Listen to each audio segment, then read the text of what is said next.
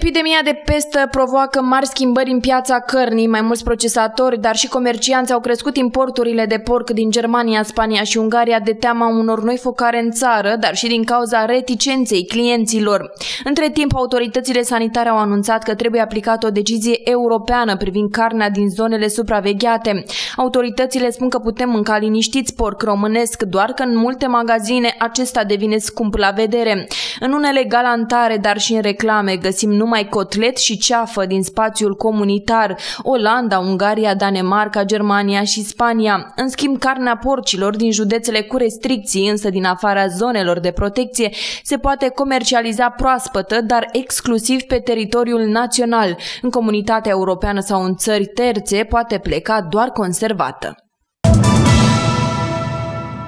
Angajații din sectorul bugetar intră de astăzi într-o mini-vacanță de 5 zile. Ziua de 15 august este declarată prin lege zile lucrătoare, iar 16 și 17 vor fi zile punte, astfel încât bugetarii vor avea 5 zile libere, decizia fiind luată de guvern pe data de 2 august. Purtătorul de cuvânt al guvernului spunea că excepție fac locurile de muncă unde activitatea nu poate fi întreruptă, de exemplu magistrații și personalul din instanțele judecătorești implicate în soluționarea proceselor cu termene în zile zilele respective și implicit participanții la aceste procese.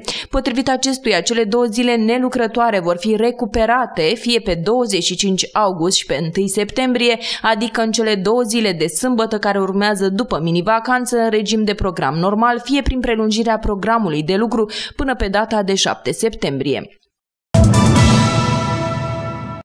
Ziua Marinei, cel mai mare spectacol naval al anului, este marcat în premieră în șapte orașe din țară, Constanța, Galați, Mangalia, Tulcea, Brăila, București și Cernavodă. Astfel, la evenimente vor participa mii de marinari militari, zeci de nave și numeroase aparate militare de zbor. Manifestările dedicate Zilei Marinei Române au început de duminică 5 august la Galați, cel mai mare port fluvial și maritim al României, evenimente fiind organizate de forțele navale române la Constanța, Mangalia, Tulcea, Tulcea, Brăila, București, Cernavodă, până astăzi, 15 august, când este programat la Constanța cel mai mare spectacol naval.